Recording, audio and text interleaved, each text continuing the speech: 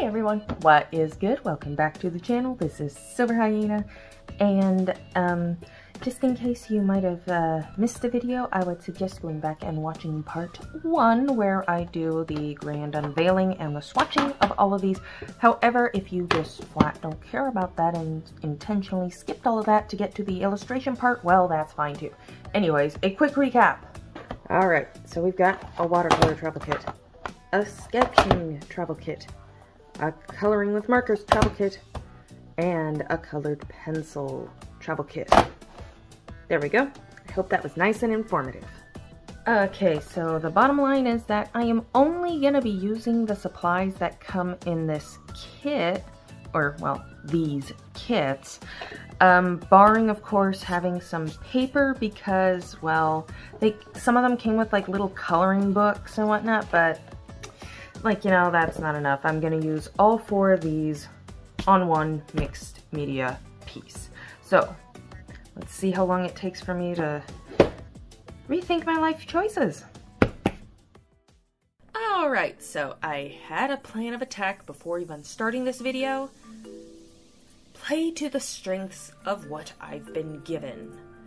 Or rather, what I needlessly forced upon myself for the sake of making a YouTube video. Come on, that alone deserves a like and a subscribe. Come on. Alright, obviously the pencils were the opening act. Sketching! Who'd have guessed?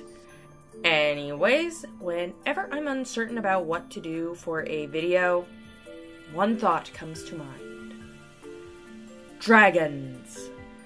The perfect fallback. I absolutely love dragons. I enjoy drawing them, and these beautiful beasties lend themselves well to the entire color spectrum, down to the colors that only some species of shrimp can see. Seriously, on a side note, I envy one of my favorite freaking foods. I want to know what those colors look like. Talk to me, shrimp. Talk to me, or I'm getting the cocktail sauce. Oh, where was I going with this?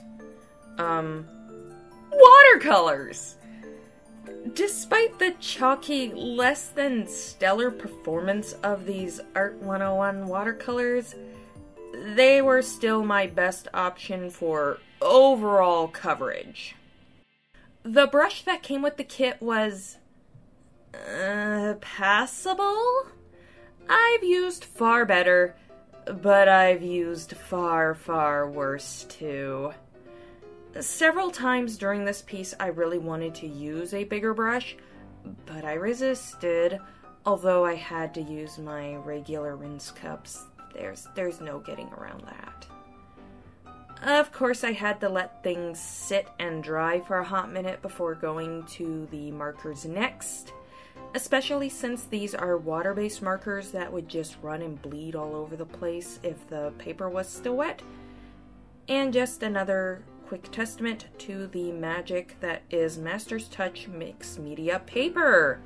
This paper can take some serious abuse and it's reasonably priced. Try it out for yourself.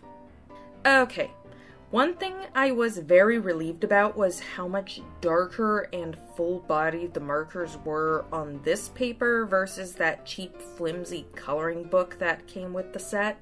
I do think that the black outline came out a bit too thick for my liking though. Looking back, I might have tried to emphasize the outline by going over it again with the pencils, maybe? Oh well, hindsight and all that. With that being said, the markers did color over the watercolors very well and provided the deep tones I was after. Sadly, the same can't really be said about the colored pencils. These colored pencils were just not good. I'm gonna come out and say it. They were not good. There's just no other way around it. These were easily my least favorite out of everything out of these little kits. They're so tiny that hand cramps are inevitable. The pigment is mediocre at best. This one I'd highly recommend you pass, even for a buck fifty. Like, seriously, just get a pack of Crayola, even Cra-Z-Art colored pencils, okay? Yes, I just went there.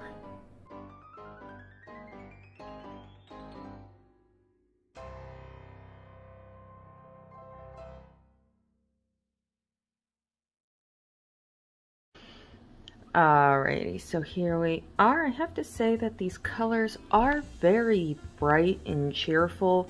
And like, you know, I was just, I was just having fun. Like, I wasn't worried about staying in the lines. Yeah, things got a little bit messy there, but you know what? I don't care right now. I was just having fun playing around. Although I will admit, though, that this uh, tiny brush probably wasn't the best choice to do something like this, so I would definitely recommend using a bigger brush. Or like one of those water brushes probably would have been perfect for that. Okay, but that's besides the point because I was trying to only use what was in these kits, even though just out of habit I did keep grabbing for this eraser, but you know what? I'm not gonna count that because this is my video, so there. Anyways, overall, are these little art kit thingies worth it? I think it's subjective. It's like, let me put it to you this way. I'm glad I didn't pay full price for them. But at a buck fifty a piece, I'd say they're worth it. I'd say they're worth it. And once again, this Master's Touch, or, or wait a minute, is this Master's Touch or Fine Touch? It's It's been a while. Okay, it's Master's Touch. yeah, I forgot what freaking sketchbook I was using. Because, like, I, I did the... Okay, confession time. I did the initial swatch video about two weeks ago as of recording this video, so this stuff has just been sitting out on my studio desk for like two weeks, and what the heck was that just out there? They don't realize I'm filming here. Okay, anyways, um, let's see here, um, stuff, stuff, stuff, um, yeah, uh, okay, tiny brush, um, yeah, these, these kits, while they're not the fanciest in the world, they're definitely usable. And I had a lot of fun doing this. So, if you come across these kits, let me know in the comments section and let me know what you thought of them because honestly, I'm curious.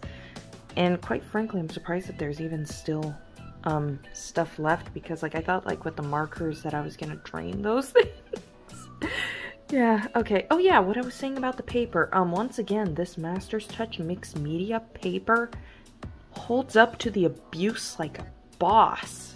I mean, like Master's Touch, don't disregard them. Anyways, with all of that being said, I certainly hope that you have enjoyed this video and that it has helped you out in some way. Of course, if it has, leave a like and subscribe to the channel if you haven't already. Honestly, that is the best way to help this channel grow. And this is Silver Hyena, signing off. Stay creative, everybody. Bye!